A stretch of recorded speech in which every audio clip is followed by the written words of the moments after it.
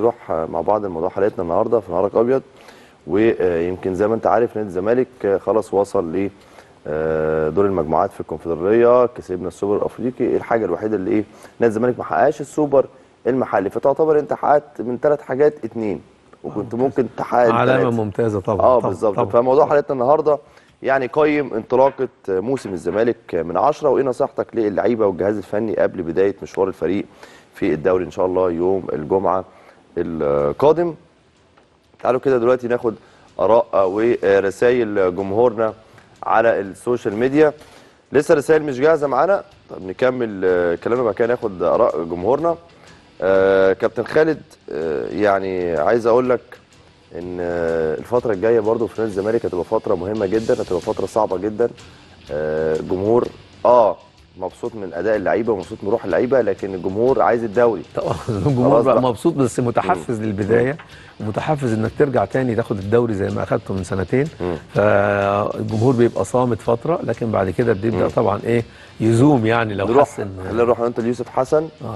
آه بيقول كنتم رجالة تستحقوا مننا كل ال- التحية والروح الروح بتجيب بطولات. بداية مبشرة جدا جماهير الزمالك كلها في ظهركم ومعاكم.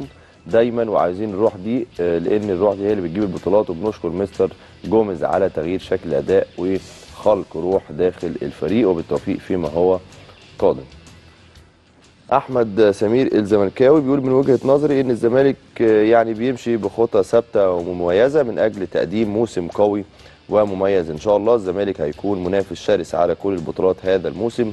لأن الأداء بيدل إن الزمالك في تصاعد وخسارة بطولة بركلات الترجيح ما تقللش ابدا من الأداء العالي اللي الزمالك قدمه خلال الفترة الأخيرة. زكريا بنصبح عليك يا زكريا بيقول أنا أديهم 10 من 10 عشان اللعيبة رجاله والماتش الأخير ده ما يقللش منهم خالص إن كله آه، توفيق من عند ربنا. سامح. عزت آه، صباح الفل عليك يا سامح. وبيقول آه، يا صباح الفل على أبطال السوبر الأفريقي. إن شاء الله آه، بداية موسم قوي. يليق بنادي الزمالك. كلنا معاكم وأنتم فريق أبطال. وقد التحدي معانا لعيبة رجالة ومدرب قدير وجمهور مفيش زيه في الدنيا. إن شاء الله بداية من الدوري تكون بداية قوية لموسم رائع. وإن شاء الله الدوري زملكاوي في 100 عقبة وعاش الزمالك وجمهوره العظيم.